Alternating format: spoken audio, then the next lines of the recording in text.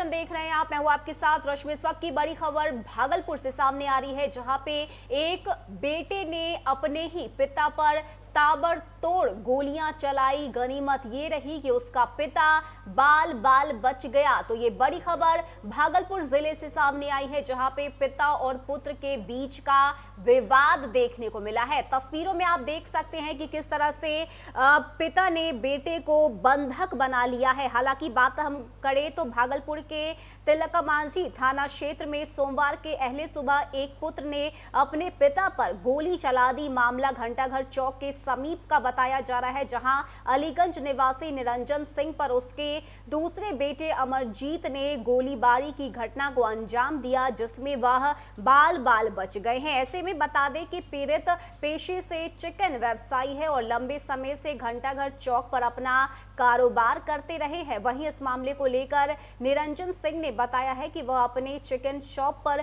झाड़ू दे रहे थे, तभी उनका बेटा अमरजीत अपने दो साथियों के साथ दुकान पर आकर विवाद करने लगा जिसका विरोध करने पर उसने कमर से पिस्टल निकालकर उस पर ताबड़तोड़ फायरिंग करनी शुरू कर दी जिसमें वो बाल बाल बच गए। ऐसे में क्या कुछ कहना है पिता और पुत्र दोनों का ही और क्या कुछ तस्वीरें भागलपुर से निकलकर सामने आई है? पहले आप ये देखिए। अपराधी प्रवृत्ति को गोंडा प्रवृत्ति का बदमाश बदमाश है। आपके साथ कभी मारपीट किया है? हाँ मारपीट किया है। आज कितना राउंड फायरिंग किया? कि आज तीन चार राउंड फायरिंग किया। हम तो बेहोश हो गए हम तो गिर गए हमको तो पता नहीं चला। तो ये काउंटर हमको बचा लिया। नहीं तो आज तो यहाँ ही मतलब आपके जान लेने की नियत से ही हुआ है? हाँ जान लेने के लिए हमको मारने के लिए आया। था पहले जेल उल जा चुका है? पहले जाल जेल जा चुका है। बम्बाजी में? बम्बाजी में। क्या नाम है आपका? हम रानी रंजन कुमार। बेटा का क्या नाम? बेटा का क्या नाम? अमरजीत कुमार। अभी कहाँ मतलब जो गोली चलाया तो फिर भाग गया क्या? अरे साहब हम क्या करें? हमरा तो दे हम तो अपने पसीना चल रहा है। हम तो वो भी पकड़ के उसको रखे थे। क्या हुआ? उसका आया पूनम देवी पूनम देवी जो आया ना उसी का मोबाइल है। पूनम देवी आया उसको जो है हमको नोच लिया छोड़ा के। पूनम देवी किसकी बेटी है? पूनम देवी हमारा वाइफ है। बेटा क्या किया आज आपके आपने क्या किया अभी? अभी गोली चले तीन चार फाइट बच गए आप बार बार। बाल बाल बच गए।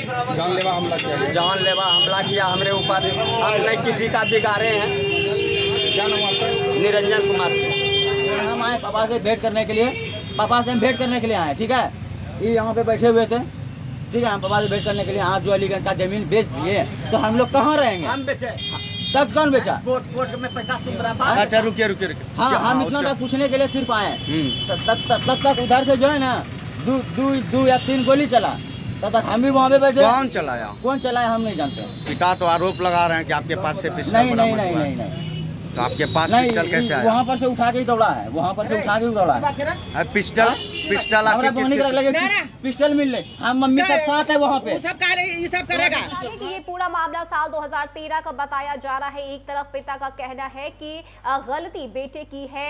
बैंक से लोन लिए जाने की जो बात है वो निकल कर सामने आई है। तो वहीं बेटे की तरफ़ से भी ये आरोप लगाया जा रहा है कि पिता ने सभी जमीनें जो है वो बेच दी है जिसको लेकर वो अपने गुस्से को कंट्रोल नहीं कर पाया। हालाँकि अब ये पूरा मामला पुलिस के संज्ञान में है।